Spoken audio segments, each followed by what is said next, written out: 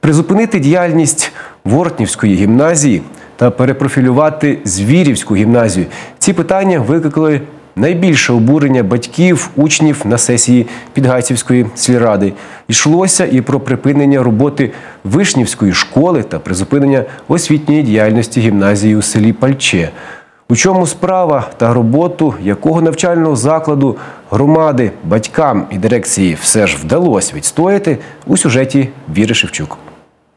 Перед початком сесії Підгайцівської сільради перед входом у будівлю багатолюдно. Батьки та працівники закладів освіти проти перепрофілювання або ж призупинення діяльності гімназій. Ще перед початком засідання питаємо сільського голову, чому взагалі постало таке питання. Мова йде за пальче, е, воротнів і звірів на сьогоднішній день. Там ще було питання по Борухову, але там батьки зробили все, що могли, за свої кошти зробили укриття, ну, стараються. Е, Питання в тому, що то не ми закриваємо, закриває держава, закриває війна, якщо так більш е, до правди.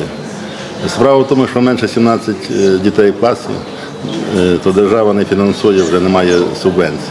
Це все прикладається на місцеві громади. Тепер давайте на пальцях порахуємо. Значить, інфляція в нас скільки? Ну 30 точно є. Я думаю, що більше. Та якщо 30%, то мінус 100 мільйонів з нашої сільради. Ви розумієте, що це означає? Плюс війна йде. Тож, мовляв, утримувати школи, де мало учнів, громаді нині нерентабельно. Не можуть продовжувати працювати і навчальні заклади без облаштованого укриття. Юрій Семенюк запевнив, усі учні гімназії, які призупиняють діяльність або ж переформатовуються, відвідуватимуть інші заклади освіти. Навіть автобус їх довозитиме. А далі почалось обговорення, а потім і голосування. Діяльність Борохівської гімназії лишили без змін, бо ж батьки і укриття за свої кошти облаштували, і учнів тут вистачатиме, бо демографічна ситуація сприятлива і своїми досягненнями діти всіх радують. Вони молодці, дуже потужно е, пішли, показали результат роботи з дітками. Крім того, там об'єдналися батьки, не ходили до нас, а самі знайшли навіть і спонсорів. Все дуже, ну, дуже багато вони зробили. Вони теж ходили з цим укриттям, і вони от знайшли укриття. Найбільше суперечок за Воротнівську та Звірівську гімназії. Вишнівська школа припинила свою діяльність, гімназія у селі Пальче призупинила свою роботу фактично без обговорень. Воротнівська гімназія призупинить освітню діяльність, бо там недостатня кількість учнів. Були в них громадські слухання, в них було всього 45 учнів. 45 учнів це дуже мало, з 9 класів в них було лише 5.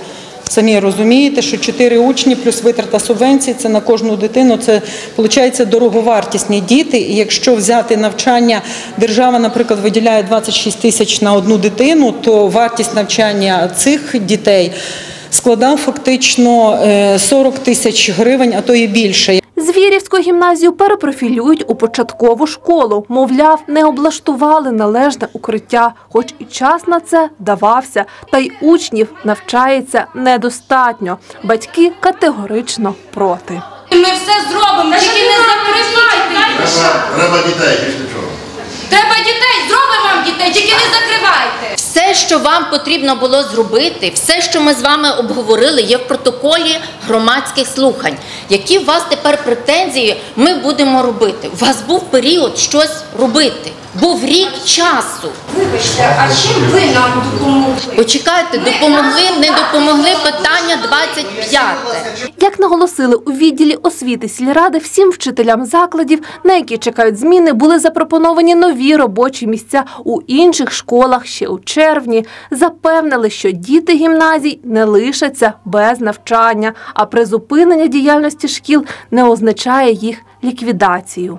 Воротнів довозиться до Лища. Він там навчався протягом року, тому що в Лища є хороше таке е, укриття, протирадіаційне укриття, і він вже туди довозився. І автобус їздить вже е, більше як два роки, тому що багато діток з Воротніва навчаються саме у Лищі. Якщо говорити про звірів, то я озвучувала звірів, е, навчався в Романові, де є.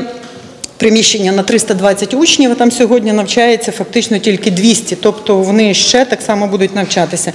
Е, Пальченська гімназія, е, ми запропонували їм це вибір батьків, куди вони підуть, запропонували їм навчання в Хорлупах, де є також хороший типовий заклад на 320 учнів, обладнані кабінети і відповідно забезпечення. І ми оплатили 50% вартості шкільних автобусів. Цих два шкільних автобусів мають бути розроблено маршрут Віра Шевчук, Мирослав Хотимчук із села Підгайці для новин на часі.